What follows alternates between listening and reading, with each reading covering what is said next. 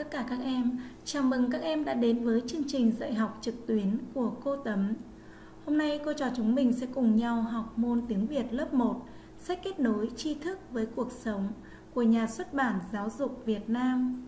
Bài 18, âm G và âm nhờ. Trước tiên cô trò chúng mình sẽ cùng nhau đi vào phần đầu tiên, đó là phần nhận biết.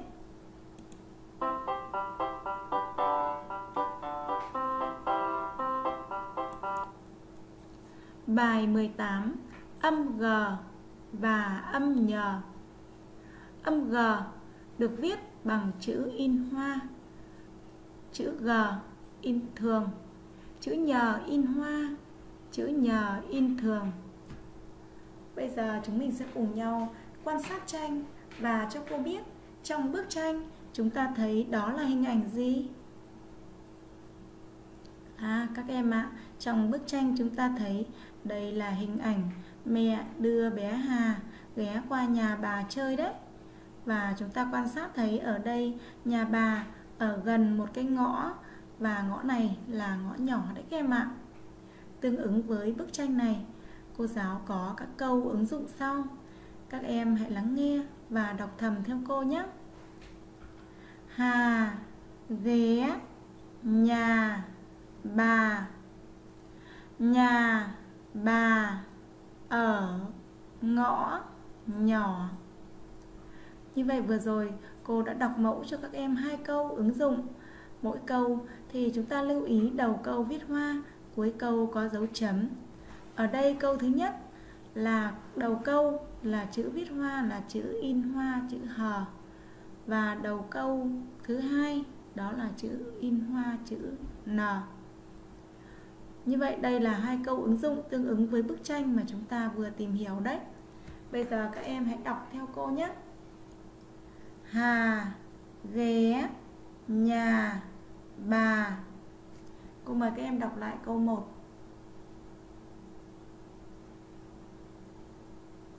Chúng ta luyện đọc tiếp câu 2.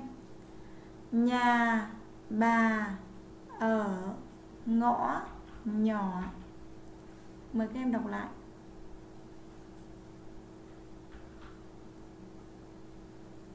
Sau đó chúng ta sẽ đọc ghép cả hai câu.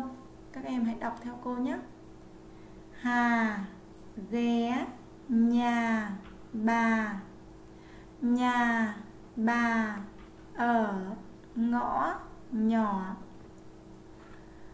các em hãy cho cô biết trong câu 1 thì tiếng nào có chứa âm g và âm nhờ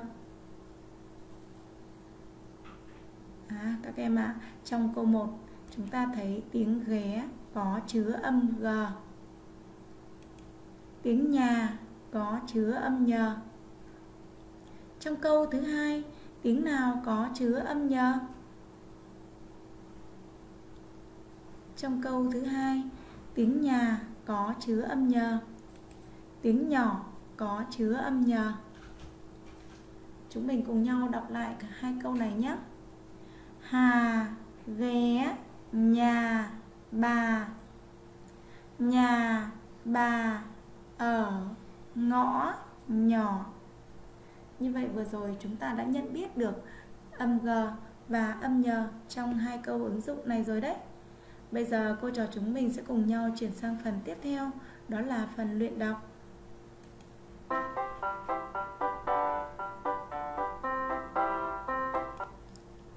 Các em hãy quan sát lên màn hình cô giáo giới thiệu với các em, đây là chữ ghi âm G. Các em lưu ý, chữ ghi âm G được ghép bởi hai âm, đó là âm G và âm H. Âm G này, chúng ta có hai cách viết, đó là G đơn và G ghép.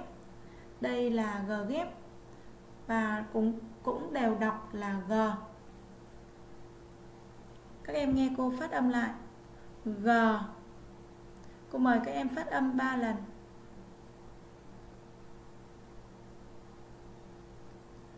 Tiếp tục cô giới thiệu với các em âm thứ hai. Nhờ. Các em nghe cô đọc lại. Nhờ. Âm nhờ là âm ghép, được ghép bởi âm n ghép với âm h. Âm N đứng trước, âm H đứng sau, tạo thành một âm ghép, đó là âm nhờ. Và khi phát âm âm nhờ thì chúng ta thấy luồng hơi đi ra bị cản lại, do đó âm nhờ cũng được gọi là phụ âm. Mời các em phát âm lại cho cô hai âm này. G nhờ So sánh cho cô âm G và âm nhờ xem có điểm gì giống và khác nhau. Hai âm này đều có điểm giống nhau là có âm hờ đứng sau. Còn điểm khác nhau đó là âm G có âm G đứng trước và âm nhờ thì có âm N đứng trước. Bây giờ cô trò chúng mình sẽ cùng nhau đọc mô hình tiếng nhé. Mô hình tiếng thứ nhất đó là mô hình tiếng ghé. Các em nghe cô đọc ghé. Tiếng ghé có âm G đứng trước, âm E đứng sau, thành sắc trên E. Chúng ta đánh vần như sau. G, E, ghe, sắc, ghé, ghé. Các em ạ, à, theo luật chính tả thì âm G ghép sẽ đứng trước các nguyên âm i E và E. Còn âm G đơn sẽ đứng trước các nguyên âm còn lại. Đó là nguyên âm ư, ơ, a, u, o và o. Cô mời các em hãy đánh vần và đọc trơn lại tiếng này nhé.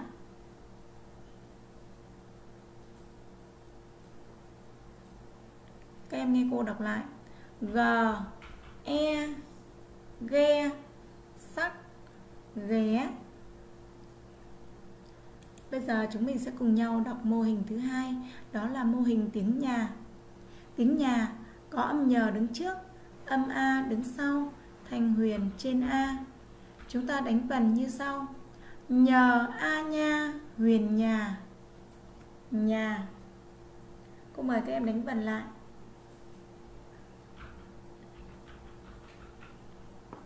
Trong tiếng nhà có chứa âm nhờ hôm nay chúng ta học. Như vậy vừa rồi chúng ta đã luyện đọc mô hình tiếng ghé và mô hình tiếng nhà. Bây giờ chúng mình sẽ cùng nhau luyện đọc tiếng có chứa âm G và âm nhờ nhé. Các em nghe cô đánh vần và đọc trơn tiếng sau. G, E, ghe, nặng ghe, ghe. Mời các em đọc lại. Tiếng ghe có chứa âm G. G, E, ghe, sắc ghế, ghế. Mời các em đọc lại. Tiếng ghế có chứa âm G. G, I, ghi, ghi. Mời các em đọc. Tiếng ghi có chứa âm G. Các em hãy đọc lại ba tiếng này nhé. Ghẹ, ghế, ghi. Cho cô biết ba tiếng này đều có chứa âm gì? À các em ạ, à, ba tiếng này đều có chứa âm G đấy. Tiếp tục các em nghe cô đánh vần và đọc tiếng sau. Nhờ A nha huyền nhà nhà. Mời các em đọc lại. Tiếng nhà có chứa âm nhờ. Nhờ e nhẹ, nặng nhẹ, nhẹ. Mời các em đọc lại. Tiếng nhẹ có chứa âm nhờ. Nhờ o nho hỏi nhỏ, nhỏ. Mời các em đọc lại. Tiếng nhỏ có chứa âm nhờ. Cô mời các em đọc lại các tiếng sau. Nhà, nhẹ, nhỏ. Cho cô biết ba tiếng này đều có chứa âm gì mà hôm nay chúng ta học. Cả ba tiếng đều có chứa âm nhờ. Bây giờ chúng mình sẽ cùng nhau đọc trơn lại những tiếng này nhé. Ghe, ghế, ghi, nhà nhẹ nhỏ Bây giờ cô mời các em hãy quan sát cho cô giáo bức tranh sau. Và cho cô giáo biết trong bức tranh chúng ta quan sát thấy đó là hình ảnh gì? À các em ạ, trong bức tranh đó là hình ảnh một chiếc ghế đấy các em ạ. Và ghế này được làm bằng đá Do đó người ta gọi là ghế đá đấy. Cô giáo có từ sau. Ghế, đá các em hãy nghe cô đánh vần. G, E, G, sắc ghế. D, A, đa, sắc đá. Ghế, đá. Cô mời các em đọc lại.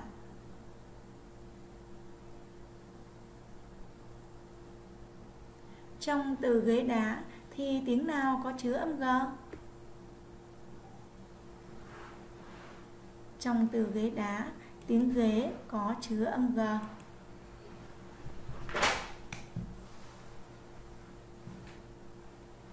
Tiếp tục các em hãy quan sát bức tranh thứ hai.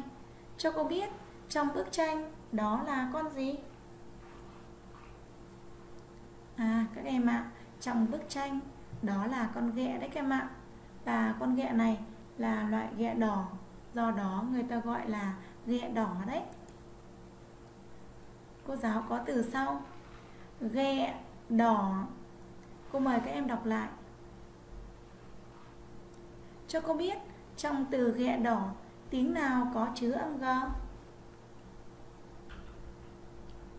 Trong từ này thì tiếng ghe có chứa âm g. Các em hãy nghe cô đánh vần. G, E ghe, nặng ghẹ, ghẹ. Tiếng ghẹ có âm G đứng trước, âm E đứng sau, thành nặng dưới E. Ghẹ, đỏ. Tiếp tục các em quan sát cho cô bức tranh tiếp theo và cho cô biết trong tranh em thấy đó là hình ảnh gì? À, các em ạ, à, trong bức tranh đó là hình ảnh một ngôi nhà đấy các em ạ. À. Các em hãy quan sát kỹ và cho cô biết ngôi nhà này được làm bằng chất liệu gì? À, các em ạ, trong bức tranh đó là hình ảnh ngôi nhà được làm từ gỗ đấy các em ạ. Và ngôi nhà thì có thể làm được bằng nhiều chất liệu khác nhau, có thể bằng gỗ hoặc bằng ờ, tường xây, bằng gạch xây hoặc là bằng ờ, nhựa hoặc là bằng sắt, inox để tạo thành khung nhà đấy các em ạ. Như vậy ở đây cô giới thiệu với các em đây là một ngôi nhà làm bằng gỗ các em nhé. Và tương ứng với bức tranh này cô giáo có từ sau. Nhà gỗ cô mời các em đọc lại. Trong từ nhà gỗ thì tiếng nào có chứa âm nhờ? À tiếng nhà có chứa âm nhờ đấy. Nhờ a nha, huyền nhà. Tiếng nhà có âm nhờ đứng trước, âm a đứng sau, thành huyền trên a. Nhà, gỗ tiếp tục các em quan sát và cho cô biết trong bức tranh đó là cái gì? À, các em ạ à, trong bức tranh đó là hình ảnh một chiếc lá. Chiếc lá này cô giáo gọi là đây là lá nho các em nhé. Cô giới thiệu đây chính là hình ảnh lá nho đấy. Cô giáo có từ sau. Lá nho. Mời các em đọc lại. Cho cô biết trong từ lá nho thì tiếng nào có chứa âm nhờ đáp án của cô, tiếng nho có chứa âm nhờ nhờ, o nho nho. Tiếng nho có âm nhờ đứng trước, âm o đứng sau, thanh ngang. Lá, nho. Cô mời các em hãy đọc trơn lại các từ này nhé. Ghế, đá. Ghẹ đỏ nhà gỗ. Lá nho. Vừa rồi chúng mình đã được luyện đọc âm g và âm nhờ. Luyện đọc tiếng và từ có chứa âm g và âm nhờ. Bây giờ chúng mình sẽ luyện đọc toàn bài. G. Nhờ. G. E. Ghé. Nhờ. A nhà. Ghẹ. Ghế. Ghi. Nhà. Nhẹ. Nhỏ. Ghế đá. Ghẹ đỏ. Nhà gỗ. Lá nho như vậy vừa rồi cô trò chúng mình đã hoàn thành xong phần 2 đó là phần luyện đọc. Bây giờ cô trò chúng mình sẽ cùng nhau chuyển tiếp sang phần 3 nhé. Chúng mình sẽ cùng nhau tô và viết chữ ghi âm G, chữ ghi âm nhờ, chữ ghe và từ lá nho. Bây giờ chúng ta sẽ quan sát cho cô giáo chữ ghi âm G và cho cô giáo biết chữ ghi âm G được ghép bởi con chữ nào? Với con chữ nào? À các em ạ à, chữ ghi âm G được viết bởi con chữ G và con chữ H đấy. Bây giờ chúng mình sẽ cùng nhau quan sát quy trình viết chữ G. Đầu tiên chúng ta viết chữ G. Có độ cao là 5 ly. Là một nét cong kín và một nét khuyết dưới từ điểm dừng bút của chữ G, chúng ta lia bút, viết tiếp con chữ H, có độ cao là 5 ly.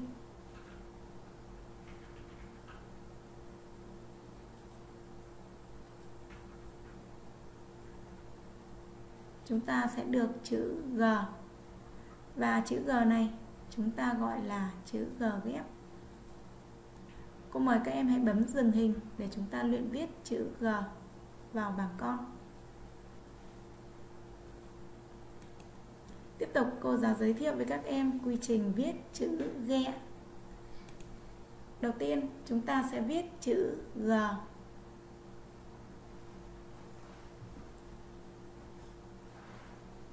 Chữ G ghép gồm con chữ G ghép với con chữ H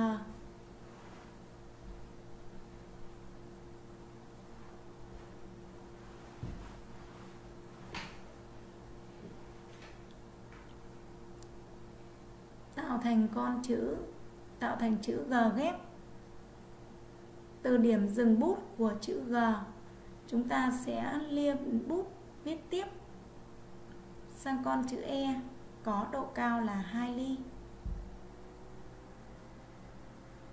Điểm dừng bút của con chữ E là giữa đường kẻ 1 và đường kẻ 2. Thanh nặng, chúng ta để dưới con chữ E. cũng mời các em hãy bấm dừng hình thì chúng ta luyện viết chữ ghẹ vào bảng con.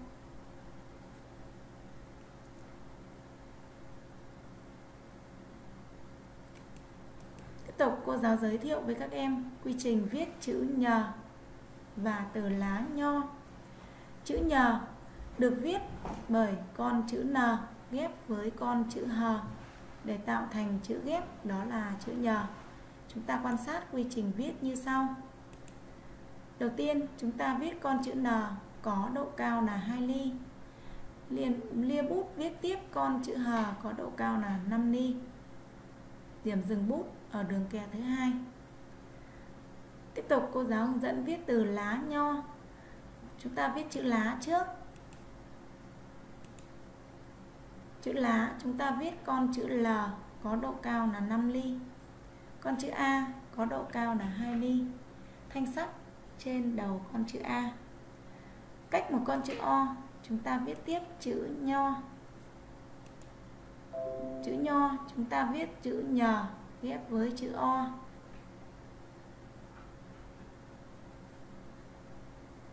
Tạo thành từ lá nho. Cô mời các em hãy bấm dừng hình để luyện viết vào bảng con. Như vậy vừa rồi cô giáo đã hướng dẫn các em cách tô và viết chữ ghi âm G, chữ ghi âm nhờ, chữ ghe và từ lá nho. Bây giờ cô trò chúng mình sẽ cùng nhau chuyển sang phần tiếp theo, đó là phần luyện đọc nhé.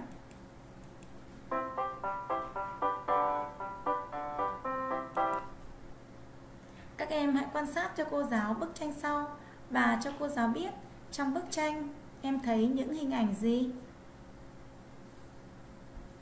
À, các em ạ, à, trong bức tranh đó là hình ảnh mẹ và em bé đang dọn dẹp nhà cửa đấy các em ạ. Và mẹ thì đang bê chiếc ghế to, còn em bé thì bê chiếc ghế nhỏ đấy. Và bạn Hà ở đây đã biết giúp mẹ những công việc vừa sức với mình đấy. Tương ứng với bức tranh này, cô giáo có câu ứng dụng sau. Các em hãy lắng nghe cô giáo đọc mẫu nhé. Mẹ nhờ Hà bê ghế nhỏ. Chúng ta nghe cô đọc lại lần hai. Mẹ nhờ Hà bê ghế nhỏ. Các em ạ, đây là một câu. Đầu câu viết hoa, cuối câu có dấu chấm. Ở đây chữ mẹ được viết hoa bằng chữ in hoa M và chữ Hà cũng được viết hoa vì đó là tên riêng của bạn Hà. Các em hãy đọc theo cô. Mẹ nhờ Hà bê ghế nhỏ. Các em cho cô biết, trong câu mình vừa đọc thì tiếng nào có chứa âm nhờ? Đáp án của cô, tiếng nhờ có chứa âm nhờ. Tiếng nào có chứa âm nhờ nữa nào? Tiếng nhỏ có chứa âm nhờ. Chúng ta nghe cô đánh vần và đọc trơn lại hai tiếng này nhé. Nhờ ơ nhơ, huyền nhờ Nhờ Nhờ o nho, hỏi nhỏ Nhỏ Tìm cho cô giáo trong câu chúng mình vừa đọc, Tiếng nào có chứa âm G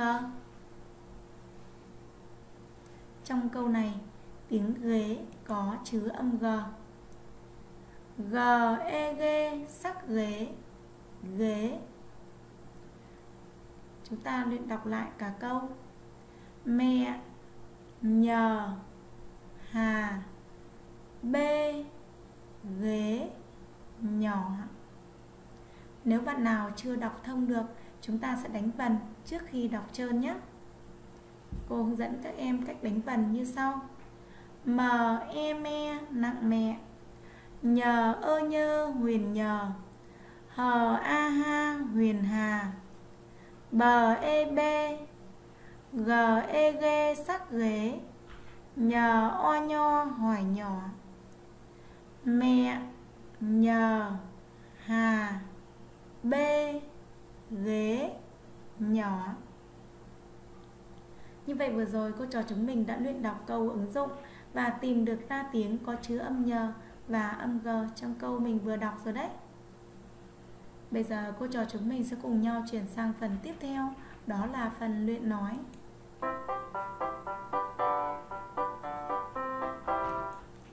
Chủ đề luyện nói của chúng ta hôm nay có tên là giới thiệu. Các em hãy quan sát bức tranh và cho cô biết Trong bức tranh chúng ta thấy những hình ảnh gì? À, các em ạ, à, trong bức tranh đó là hình ảnh bố mẹ và bạn nam đang đến nhà người thân để chơi đấy các em ạ. Vậy các em hãy quan sát xem bạn nam đang làm gì.